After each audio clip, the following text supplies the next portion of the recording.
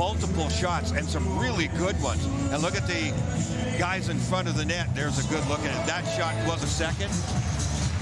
But then the rebound comes out. Casey DeSmith has him, And he's just going to loop and go. He gets a great breakaway pass. Perbix is trying to catch up, and it just Germany, but they came right back. The U.S. did. And then Hutson to Farrell. They're shooting face off and just kind of hung in behind.